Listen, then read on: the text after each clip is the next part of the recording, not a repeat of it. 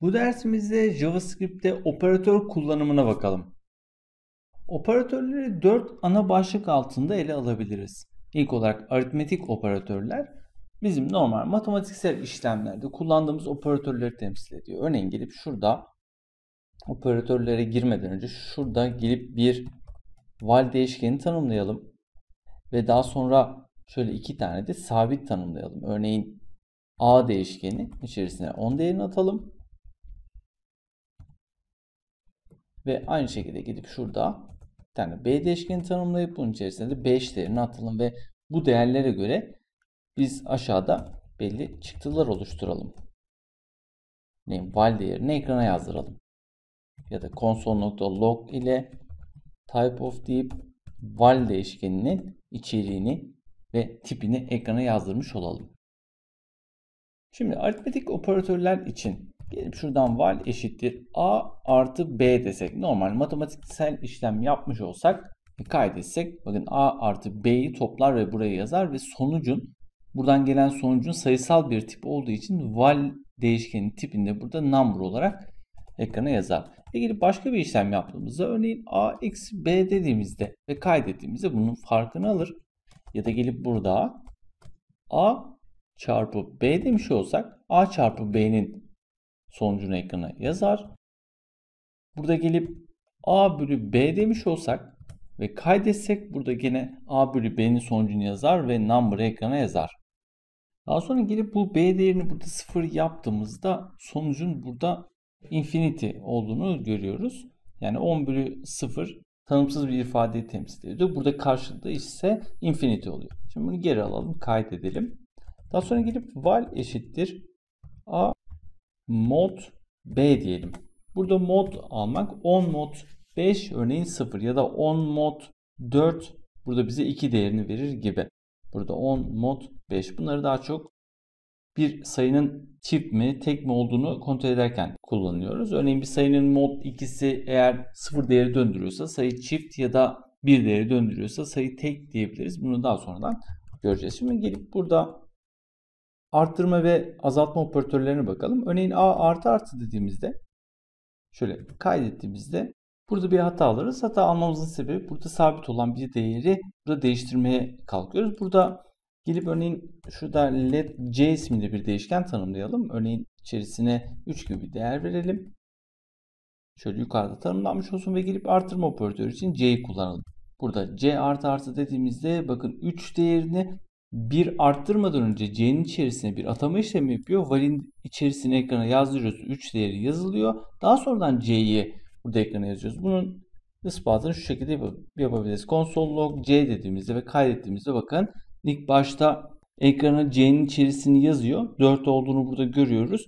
Ancak val değişkenin içerisine aşağıda yazdığında ise 3 olarak kalıyor. Yani bunun manası C'nin içerisini ilk başta valin içerisine atar ve daha sonradan c değerini arttırır. Eğer gelip işlemi bu şekilde yapmış olsaydık artı artı c demiş olsak bu durumda bakın ekrana c'nin içerisine bir arttırdıktan sonra bu işlemin sonucunu vale atar ve ekrana yazdırır. Yani burada en son 4 olmuştu. 4'ü 5 yaptı Bakın direkt 5'i ekrana yazdı. Çünkü 5'in içerisine C'nin içerisine bir arttırdıktan sonra valin içerisine attı ve ekrana yazdırdı. Bu şekilde bunları kullanabilirsiniz.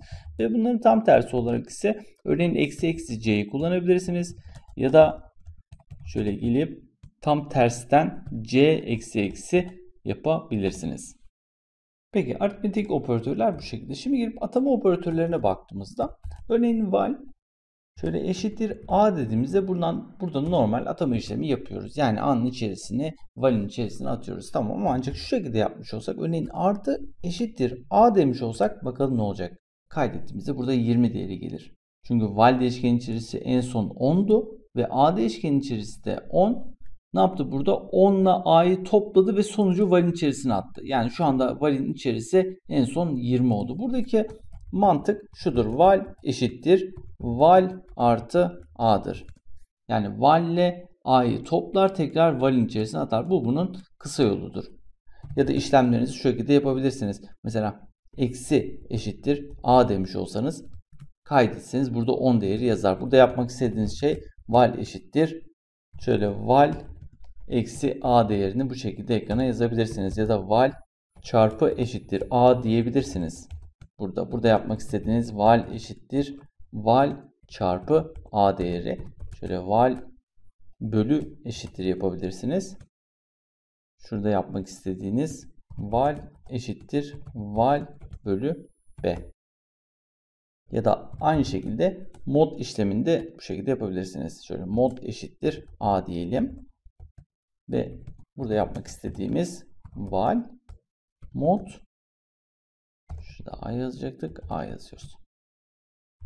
Daha sonra gelelim karşılaştırma operatörlerine. Karşılaştırma operatörlerinde ise örneğin val değişkeni içerisine burada yapacağımız bir karşılaştırmanın sonucunu atalım. Örneğin diyelim ki a eşit eşit b dediğimizde bakın ekranı false değeri gelir. Çünkü burada a'nın b'ye eşitliği burada söz konusu değil. Gelip burada şöyle const diyelim ve şurada c diye bir değişken tanımlayalım. Bunun içerisine şöyle 5 atalım.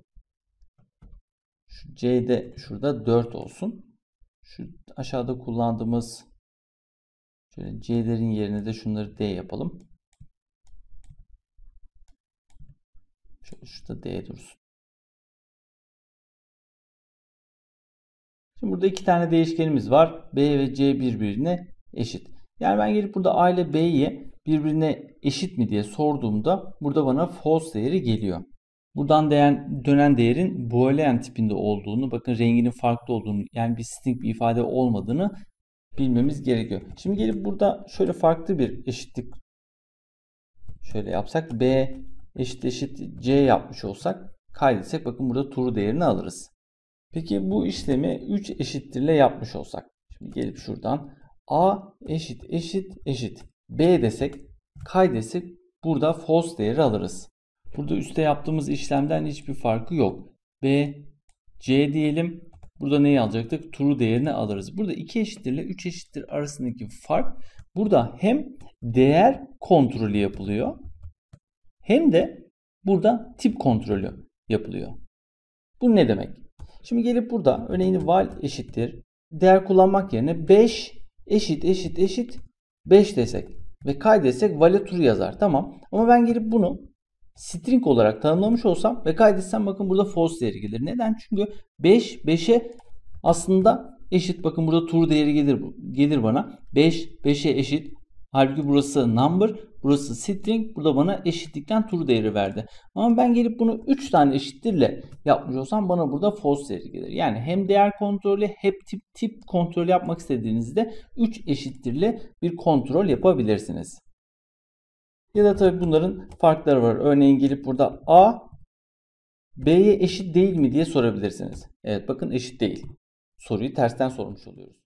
Ya da aynı şeyi şöyle eşit eşit B diyebilirsiniz. Tam tip kontrolü de yapabilirsiniz. Ya da gelip burada sorduğunuz soru A B'den büyük mü olabilir? A B'den büyük evet. Ya da gelip burada tam tersi bir soru soralım. B A'dan küçük mü? Evet bakın küçük. Ya da şöyle diyebilirsiniz. A B'den büyük mü? Tamam. Ama Aynı zamanda eşitliğini de kontrol edebilirsiniz. Yani bize buradan A, B'den büyük olduğunda true değer gelir. Ama eğer birbirine eşitse de aynı değer gelir. Yani şu şekilde mesela 5 büyük eşit 5'ten gelecek değer bana true'dur. Ancak şurası gelip şöyle 4 olmuş olsa bu sefer bize gelecek olan değer false'dur. Bunun tam tersi olarak gelip şöyle A küçük eşit B diye de sorabilirsiniz. Ancak dikkat etmeniz gereken eşittirin her zaman sağ tarafa gelmesi. Burası büyüktür ya da küçüktür işareti ama eşittir her zaman sağ tarafta olacak. Şimdi ise mantıksal operatörlere bakalım. Burada bizim karşımıza gelen AND operatörü var. Şöyle AND operatörü. Daha sonra gelip şöyle OR operatörü var. Buna veya operatörü de deniyor. Şöyle or diyelim İngilizcesini yazalım. Ve daha sonradan şöyle değildir operatörü var. Şöyle not operatörü diyelim. Şimdi bunlar nedir? Örneğin ben gelip burada karşılaştırma operatörlerinden benim elime gelecek olan true ya da false değerler var. Örneğin gelip şurada bir tane A büyük B sorusu var. Bu benim için bir tur ya da false değer döndürecek. Burada bana döndürdüğü değer A B'den büyük olduğu için burada bana true değeri gelir. Tamam. Ancak sorduğum soru bir tane olmayabilir. Örneğin ikinci soru A B'den büyük mü? Ayrıyetten A C'den büyük mü diye sorabilirim. Ve bu iki tane koşulun doğru olmasını tespit edip bana bir tane tur ya da false değer gelmesini istiyorum. Yani burada sorduğum soruları birleştiriyorum ve sorduğum örneğin iki tane, üç tane, beş tane sorudan gelen değer ya true'dur ya false'dur. Yani örneğin bir tanesinin false olması bile benim sonucumun olduğu gibi false olmasına isteyebilirim. Şimdi gelip burada yapmanız gereken burada araya bir v eklemek. Yani bu durumda iki tarafında true olması gerekiyor. Dolayısıyla gelip bu sonucu buradan gelen sonucu valin içerisine atalım ve kontrol ettiğimizde bakın burada true değeri alır. Çünkü A B'den de büyük, A C'den de büyük. C değerine baktığımızda 3. Bakın A en büyüğü. Yani şu şekilde bir işlem yaptığımızda burada true true olduğunda bana gelecek değer true'dur. Ya da gelip true and false olduğunda benim için sonucun false olması için yeterli. Ya da gelip şöyle false and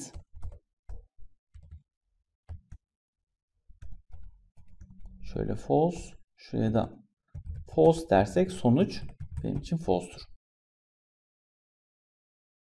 Yani bir işlemin sonucunun true olması için koşulların bütün tarafları her zaman true olması gerekiyor.